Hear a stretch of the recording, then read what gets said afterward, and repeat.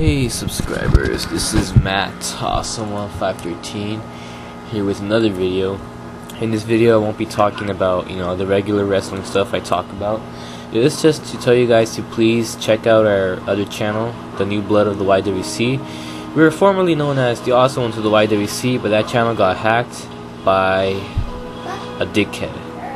Whoever hacked that channel, you're a fucking dickhead and you're a gay ass fag you're gonna suck balls, you're gonna burn in hell, and your grandma's gonna get effed up by a bunch of mugglers because you suck dick.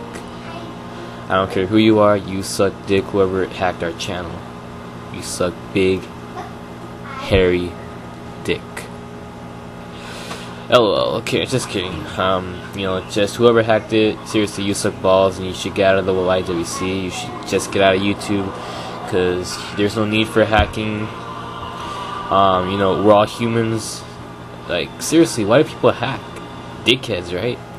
So anyway, just to let you guys know that we have a new channel, and please give us a sub. I mean, in our other channel, the Awesome Ones of the YWC, we worked so hard. Um, me and TJ41694, CJEDU808. Um, I guess I'm I guess I'm basically giving them shoutouts right now. so yeah, we we like worked our ass off, and also Sam Slam Show One.